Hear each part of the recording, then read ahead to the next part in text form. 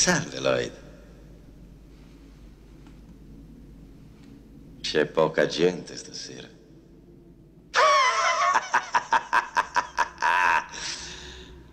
Lei ha ragione, Mr. Torrance. Che cosa prende? Una domanda molto azzeccata, caro Lloyd. Perché si dà il caso, amico mio, che ho due pezzi da 20 e due da 10 qui nel mio portafogli? E temevo che ci rimanessero fino all'aprile prossimo. Allora facciamo una cosa. Tu mi passi una bottiglia di bourbon con del ghiaccio e un bicchierino. Che dici, ci riesci, Lloyd? Non è che hai troppo da fare? Sono sempre a sua disposizione. Sei l'uomo che cercavo. Allora tira fuori tutto che mi faccia una bevuta, Lloyd, così mi tira su. È il senso del dovere che ci frega, amico mio. Il senso del dovere ci frega.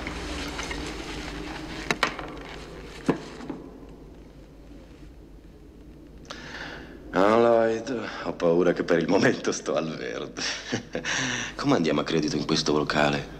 Oh, per lei non c'è nessun problema. Questa è classe. Tu mi piaci, Lloyd. L'ho sempre detto io. Sei il miglior barman del mondo. Il migliore fra tutti i dannati barman che ho visto fra Timbuktu e Portland, Maine. O Portland, Oregon, se preferisci. Lei è davvero gentile.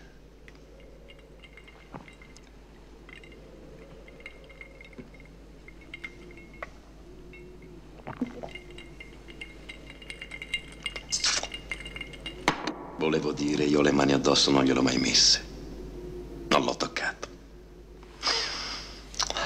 Io quella sua dolce testolina santa non la toccherei nemmeno con un dito.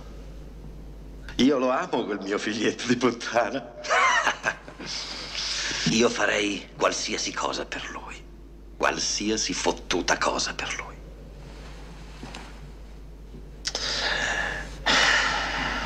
Quella stronza. Lo so che fino a quando vivrò farà tutto il possibile perché io non dimentichi.